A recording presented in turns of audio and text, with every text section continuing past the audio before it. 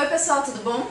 Bem-vindos ao canal Divinas. Hoje eu tô aqui com a presença maravilhosa Mirella Paz, autora de Maliciosa, o merchan básico da amiga, pra fazer a resenha da, a, do primeiro volume da HQ do Little Pony, que a Panini enviou recentemente e que vocês já viram é, tanto aqui no canal quanto nas redes sociais. E como Mirella é a louca do My Little Pony, ninguém melhor que ela pra me ajudar a resenhar esse quadrinho, né? Produção, joga o copo. Produção joga o copo. Joga, não, não, o copo. o copo com água não. É, é, esse pesado. Pode jogar. Que... Espero que isso vá pro vídeo, inclusive. Isso vai pro vídeo. É. Eu faço super propaganda, eu sou ela. Integridade física. Então, hein, assim, eu sou louca por meu querido pônei desde muito pequena. Essa é a terceira geração do meu querido pônei, sim. Sou louca a esse ponto de saber tudo. E tá tendo essa promoção de uma fast food, não vamos citar o nome porque não é publi, né? E eu ganhei o copo da produção. Então, assim, eu sou apaixonadíssima por meu querido pônei desde bem pequenininha. E essa geração nova, sinceramente, é, tá incrível porque não tá pra criança em absoluto. Tá, mas não tá, né? É, é colorido, é lindo, é fofo, mas assim, o conteúdo, se você é adulto, você vai aproveitar muito mais do que qualquer Pois é. criança, com toda certeza. As peças são bem mais maduras, É. A, a HQ é novidade aqui no Brasil, essa é, a prim- É, é, saiu agora, é. foi lançado mês passado. E saiu o quê? São quatro, né? É, são, é um arco fechadinho, HQ. São quatro é, historinhas que saíram lá soltas, mas que fecham o arco. E ainda umas mini historinhas atrás, tipo de brinde. É. O que eu gostei foi isso. É, primeiro porque veio completo. Lá fora saía uma revistinha acho que por semana, por quinzena, É, né? assim. Então você tem que esperar. Essa da Panini você já lê ela inteira. É, eu, Eu fecho o, o, arco, o arco certinho. O valor também não, não é muito caro. Não É tô- 20,90. é 20 e pouco, é.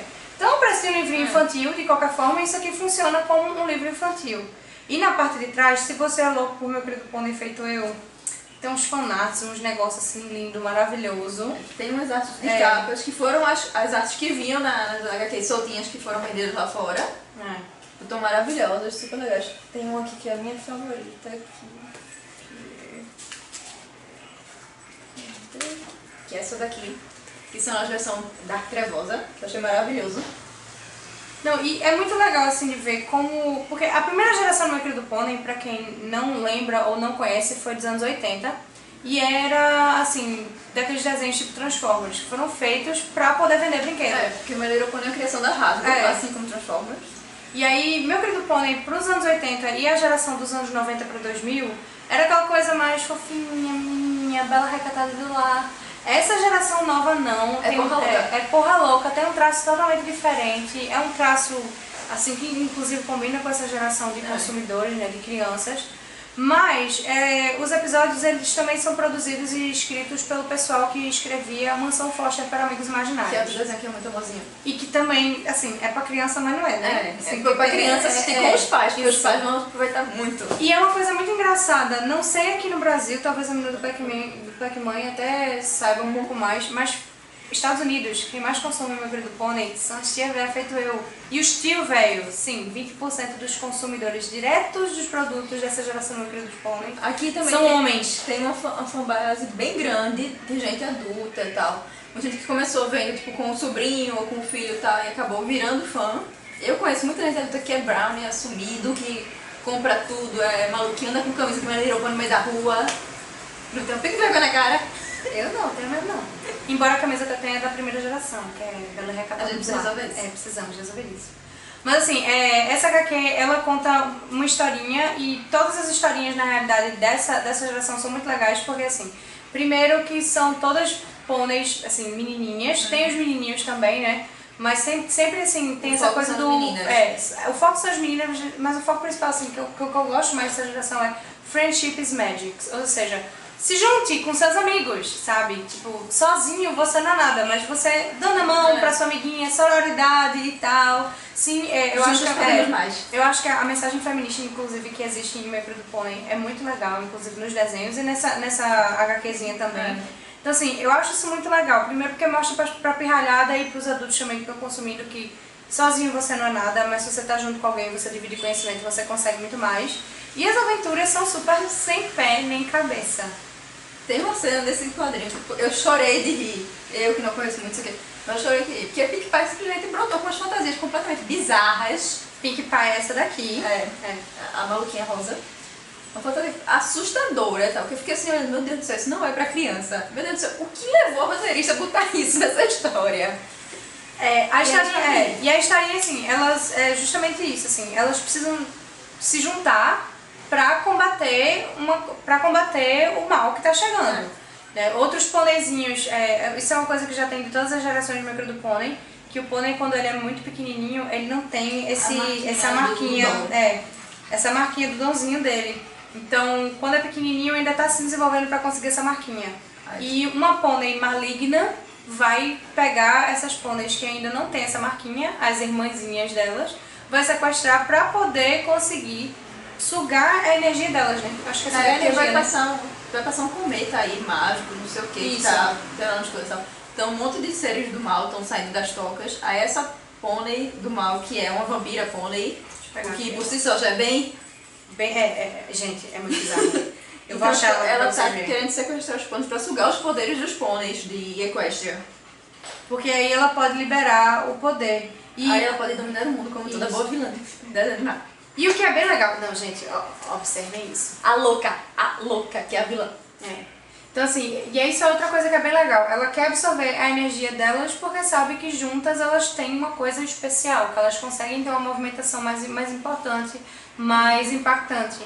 E assim, elas vão passar por umas aventuras assim, bem sem pé nem cabeça. No meio Muita floresta. coisa louca, floresta, vão entrar numa mal, caverna, é. Vão entrar numa Elas se caverna. perdem, vão se perder. Vão, vão, essa coisa de testar a amizade pra ver se a amizade realmente é real. É- é- essa pônei maligna, ela vai testar pra ver se realmente elas É. são amigas mesmo ou não, elas vão se estranhar. Então é muito legal porque é o arco completo e você vê tudo se passando realmente de fato. E é divertido, porque eu acho que uma boa maneira de, de definir isso aqui é que é a Lucy Crazy. Porque, gente, tem Não- umas coisas assim que não não tem- faz sentido nenhum. É, não, não fazem sentido nenhum. É, do nada, Pink Pie tira um bolo no meio da floresta. Tipo, onde ela estava guardando este bolo? É só que eu quero saber. É, Meu Deus, não queira saber. Você não vai querer É melhor saber. ficar sem saber. Eu sei, eu sei, mas é porque, né? E o gráfico também tá muito legal. Lembra o do desenho, mas eu achei que aqui eles conseguiram fazer muito essa coisa do quadrinho de trabalhar bastante a É, expressão. as expressões estão maravilhosas. Você chora de quantas expressões que a Rainbow Dash faz. Rainbow que Dash é minha incríveis. favorita. Minha favorita. E é muito legal. Eu não sei se a maioria acompanha, mas tipo, acho que aqui dá pra ver. A fanta- até a fantasia que É. é a Pink Pie. tira, é, do nada. Mas assim, ela- eles trabalharam muito bem e trouxeram também essa coisa do quadrinho. Porque às vezes a gente vê que tem um desenho, aí trazem pro quadrinho e fica um pouco ou vice-versa. É, eles só pegam tipo, alguns frames e botam É. sem adaptar de verdade. E, uma coisa que foi pensada só pro quadrinho. É uma história que só tem nos quadrinhos. Tal. Isso, é, não é, eles, não é eles fizeram muito bem essa adaptação do desenho pros quadrinhos. Eles, em vez de pegar só episódios e transformar em quadrinhos, como muitas produções a gente vê fazendo, não. Eles pegaram, contrataram uma roteirista, chamaram ela pra fazer os quadrinhos, tudo. E o desenho ficou maravilhoso, porque as expressões, as coisas. Não, e até as situações mesmo, que, por exemplo, no quadrinho, como você vai ter um tempo de leitura que pode ser maior do que absorvido do episódio, que os episódios têm em É. média acho que 20 minutos, é, eles conseguem trazer muito mais situações e trabalhar cada ambiente desse com mais cuidado. Então as florestas têm essa coisa assim de ter o besouro, de ter a flor, É. de ter a, a coisa na água. né? Então eles trabalham muito mais os detalhes e é uma coisa assim de, de, quadrinho mesmo. E isso eu achei bem legal, bem positivo. E o fato de ser, gente, é- essas, Essas fantasias. Pra quê? Tipo, são fantasias delas mesmas. É, pra, é por isso que eu digo que é pra criança, mas não é, porque eu criança acho que ia ficar meio assustada. Eu Mesmo sendo assustada pônei, com meus 24 colorido, lindo, é. Mesmo sendo pônei, colorido, lindo e tal. Mas assim, é, eu acho bem, bem válido, bem legal. É, cada revistinha tá dividida. É, Como eles juntaram, então eles fizeram bem bonitinho. Tomaram o maior cuidado também. É, a Bonita foi. É. Principalmente por- na tradução. A tradução ficou muito legal. Porque eles não tentaram traduzir os nomes das pôneis, o que ficaria sem sentido, já que no próprio desenho os nomes delas são em inglês. Olha assim, Prende Mirella, é a doida do meu querido pônei. Meu Deus, isso vai vai. Sim, é, eles tiveram cuidado muito legal nas traduções tal. Mantiveram um texto que é. que o adulto se diverte, mas que a criança também aproveita e tal.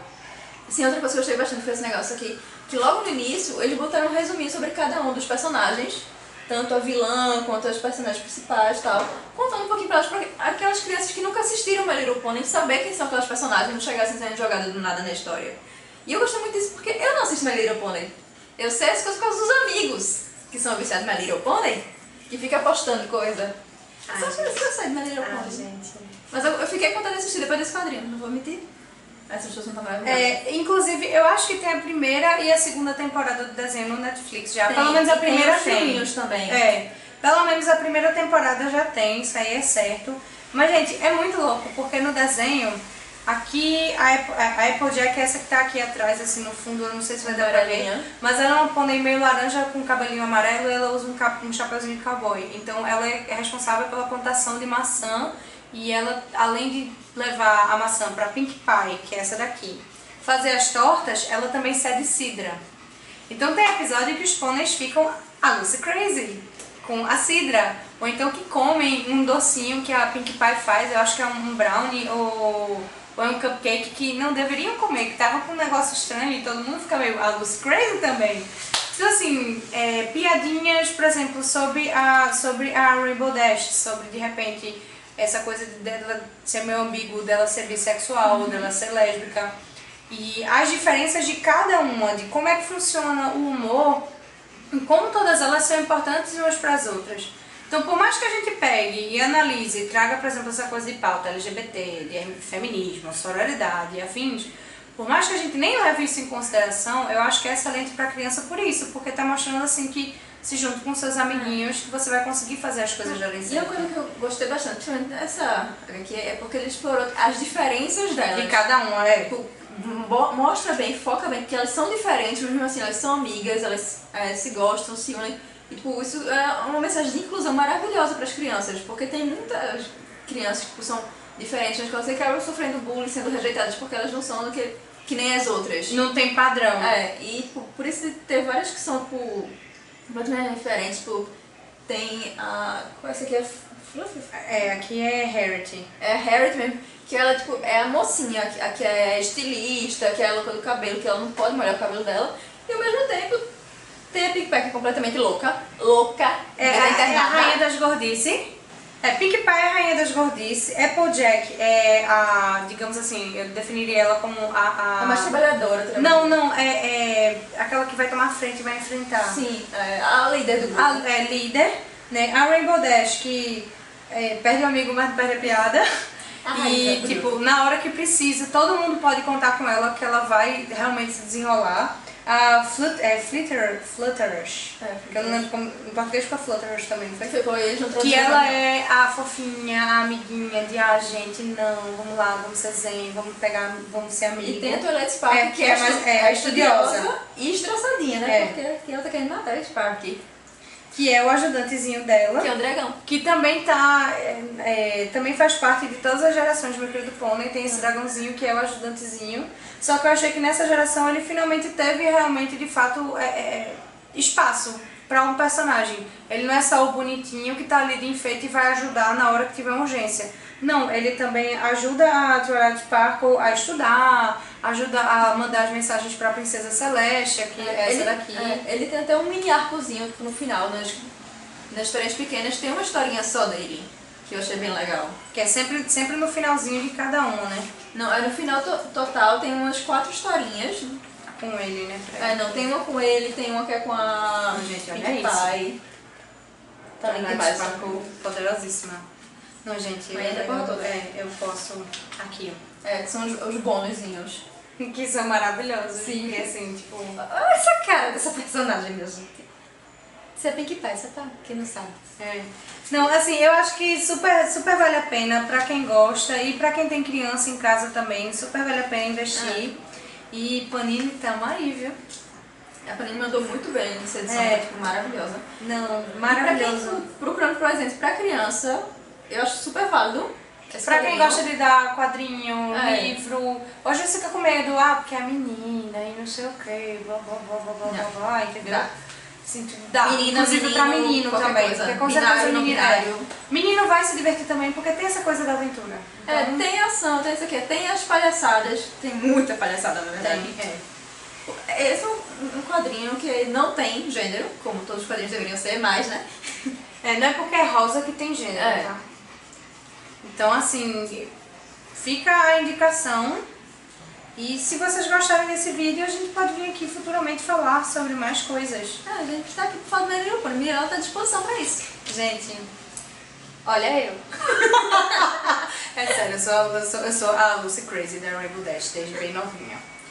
Mas enfim, é isso, né?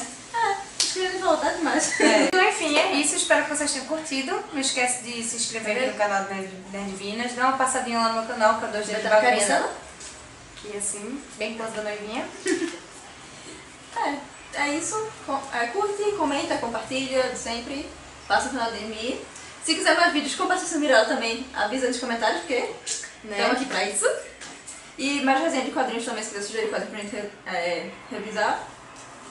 Bota aí também nos comentários e tal. E se você leu esse quadrinho, se você é fã do My Little Pony, também fala. Vamos discutir, vamos conversar do My Little Pony, minha gente. Vamos, é bater, vamos bater uns papos sérios aí na lombra dos pôneis. É. tchau, tchau, pessoal. Até o próximo vídeo. Tchau!